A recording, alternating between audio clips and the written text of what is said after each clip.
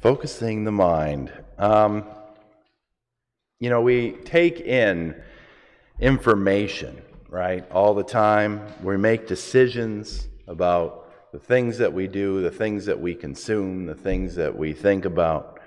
And that's based on a, mon- a bunch of different elements uh, comprised of this thing called our psyche.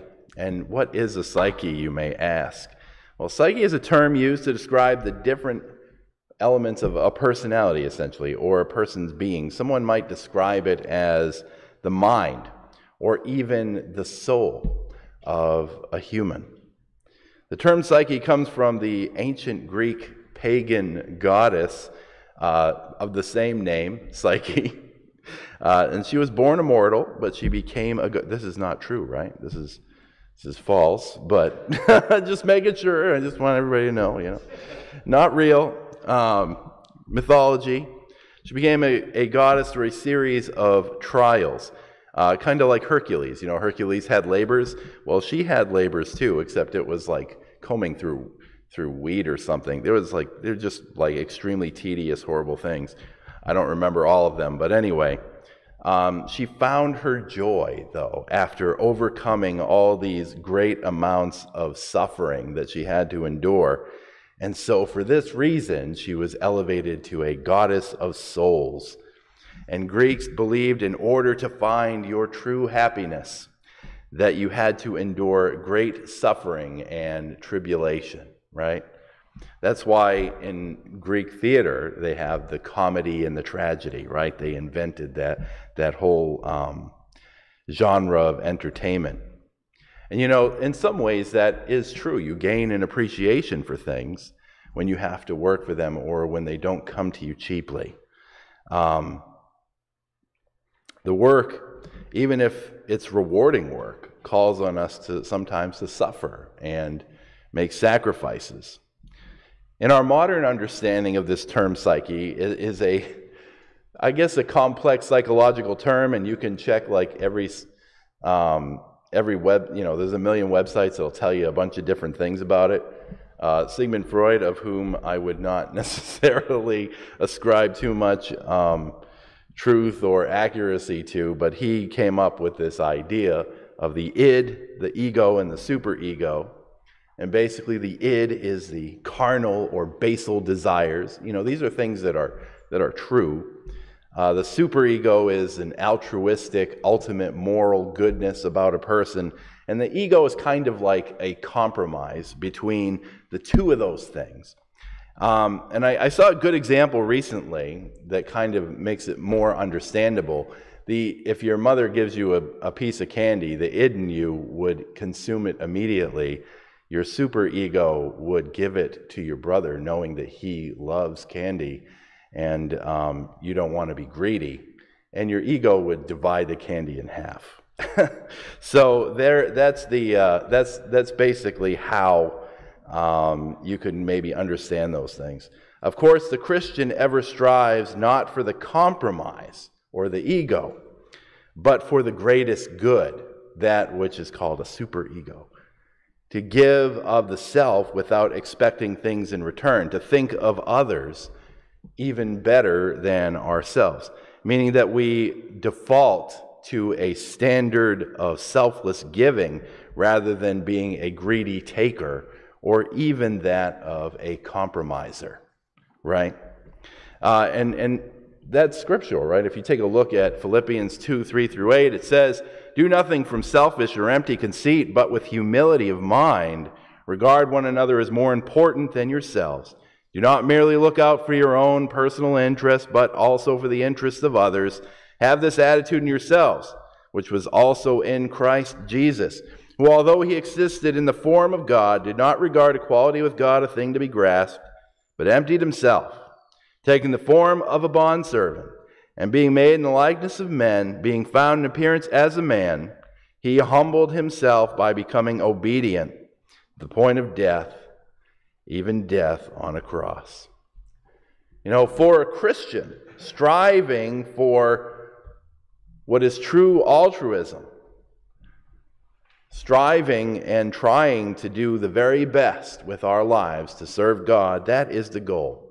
Love, sacrifice, and humility are the virtues that we're called to emulate, and they're the that we see in Jesus Christ. And how does that relate to our psyche and how that works? What goes into the mix for how we determine how to make the most altruistic decision in a given situation? Well, I, I want to kind of expound on that. Because I think that we consciously understand, at least on some level, how our mind works. But to understand what's going on in there, maybe in terms, we can maybe make better decisions when we feel ourselves going off the going off down the wrong path, right? If we're succumbing to something that is um, that, that's basically wrong or evil, and sometimes knowing why you're struggling, knowing where your problem is, it's easier to fix it, right? Uh, and the Bible tells us lots of places on how to fix lots of things that are wrong with our mind, but sometimes we don't really think about it uh, in the moment. But there are a few different things that happen when we make a calculated decision with our mind, and they are from our place of reason, our conscience. Not that we're awake, but, you know, Jiminy Cricket, you know. Our conscience, our self control, and our emotional response, right? So we have reason, conscience, self control, and emotions. And I'm going to talk briefly about these different things so that we have a greater means of control when we make a decision and that we make the right decision, the decision that is honorable and just and good. And I'm going to start out with reason. Reason is based on facts and knowledge. Those facts can be of a physical nature, like science or I guess you could say mathematics, but they can also be of an intangible truth, like philosophy and logic and a lot of things, you know, wisdom of the Bible is reason. The book, I Don't Have Enough Faith to Be an Atheist, that Josh is actually teaching from on Wednesday nights, uh, primarily is a book of reason. Its goal is to present a case that a reasonable person will read it and be convinced in their own mind that God exists and that Christianity is true right? That's the, the aim, and it aims to reason with people through facts and logic and philosophy in order to make a case that it's accurate. Um, the Bible is also a book of wisdom and reason and exists to convert people of a reasonable mind. God, through the prophets and the authors of the Bible, uses reason with people in order to convince them to change their mind or to repent to change their ways. We can take a look at one example where God tells somebody to reason within themselves here. It says in Isaiah 1:16 through 20, "Wash yourselves, make yourselves clean, remove the evil of your deeds from my sight, stop doing evil." Learn to do good, seek justice, rebuke the oppressor, obtain justice for the orphan and plead for the widow's case. Come now and let us debate your case.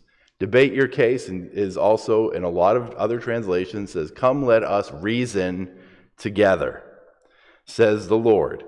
Though your sins are as scarlet, they shall become white as snow. Though they are red like crimson, they shall, shall be like wool. And if you are willing and obedient, you'll eat the best of the land.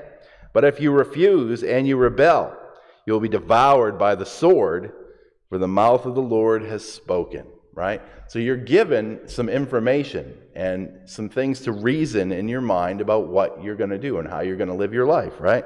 In this passage, God is giving a directive or an ultimatum saying to a person to stop with their evil ways and to do good instead. God invites the person to come and even debate with him or reason with him, uh, as some translations say, about the fate that lies in store for those that are evil and wicked or hateful and disobedient. God's making an offer for forgiveness contingent upon a person's contrition and repentance, right? The person who repents and lives a righteous and just life will live a life that is rewarded by God, whereas a person who chooses not to doesn't. um, it says you'll be devoured by the sword, specifically. The person then is left with the task to, of reasoning within themselves and weighing in the balance what it is that they want to do with their life. They must decide if they're going to go on and continue to be evil or if they're going to repent. Reason is all over the Bible. Prophecies that come true about the coming of Jesus Christ, people's testimony of seeing the risen Christ, and people's testimony of miracles are all reasons why a person should believe in God and believe in Jesus. In fact, the Gospel of John makes the very case that all the good works and the miraculous events that are recorded in the Gospel are written for the very purpose as to convince people um, to be reasonable and accept the truth. Right? The next thing I want to talk about is our conscience. This is often depicted as Jiminy Cricket to Pinocchio or the angel that sits on your shoulder, even though that's not what it is. It's not an angel. You don't have a little cherub hanging out with you. But it's that inner voice that convicts and convinces us to be moral and to be just. And Paul calls it the law that's written on the heart. And that's from Romans 2 14 and 15, where he says, For when Gentiles who do not have the law do instinctively the things of the law, these not having a law are a law to themselves, and that they show the work of the law written in their hearts, their conscience bearing witness, and their thoughts alternately accusing or else defending them. We all have that, right? Everybody's got it. That little voice in the back of your head says, You shouldn't do that. You know better, right? And some of us have beaten that guy up senseless and tied him up and locked him in a closet and you know we're probably not super super good folks if we're if we're that person right but we all have that guy in the back of our head telling us what we ought to do consequently you know what i think is kind of interesting is uh, i don't see how that works into evolution have you ever thought about that where does a conscience fit in with evolution when does it ever benefit a person to be virtuous um, and not act in their own self interest or out of fear. You know, no other animal is naturally compelled to be good and righteous for the sake of virtue itself. That we're the only only thing that lives and breathes on this earth that does that. No other living thing struggles with anything like morality. You can impose that, impose morality on your dog, you know, but they're not being moral. You're anthropomorphizing your dog right? They're just doing what they do in a wolf pack. They don't think about anything altruistic. They're just obeying you out of fear, realistically. Fear and respect, right? so, knowing that, though, the humans are unique and special, almost as if they were created that way, right? Uh, almost as if they were made in the image of a higher and perfect being, right? It's, it's evidence for God, isn't it? The fact that we have that little voice in us, in the back of our head, and we everybody knows it, and it's even scientifically proven that people just have this thing. It's kind of cool. But anyway, we have a conscience, right? And that is another element of how we make decisions.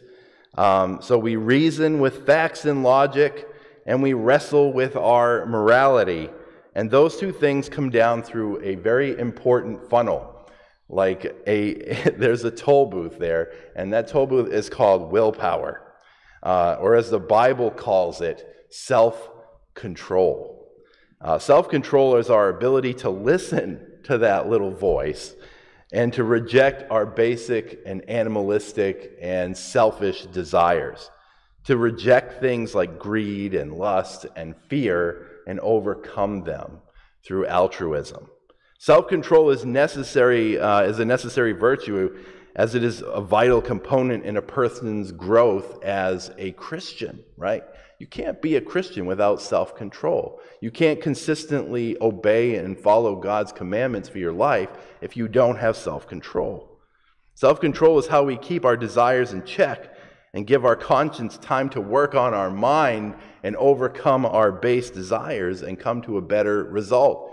It holds that bad stuff at bay, right? Um, I think the Apostle Peter put it pretty good when he said this. Uh, now, for this very reason, also applying all diligence in your faith, supply moral excellence, and in your moral excellence, knowledge, and in your knowledge, self control and in your self control, what does it do for you? Perseverance, willpower, right? And in your perseverance, godliness. And in your godliness, brotherly kindness. And in your brotherly kindness, love. It is like the linchpin holding things all together. Self control enables perseverance or stick to itiveness. And without self control, people give up on what they should do and they fall back into their sin. They're overcome by their desires instead of being able to stand up to them and resist them. Self control is looking at a brownie that you really want and having the inner fortitude to walk away from it.